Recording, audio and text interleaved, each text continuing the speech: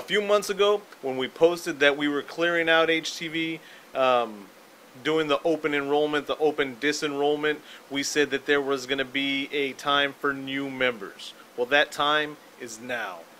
And what we're looking for is we're looking for HTV members, or not even a member if you don't want to be, but a contributor or member to Hatchet Television. And um, we're looking for people that have been around Hatchet TV. If you've been to the barbecues for no reason, if you've been to the old school birthday bashes that we used to do, if you ever came out on the video news that we used to do long before we were on YouTube, whew, way back in the day. Um, if you ever went to the hell the picnic at um, Southside Lions Park back in 2003, 2004, some shit like that. Um, we're looking for people that are familiar with HTV, and I'm doing a.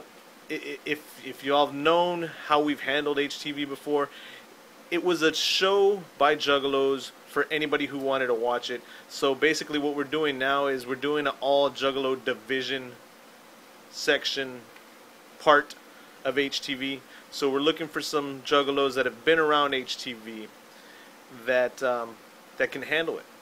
All right.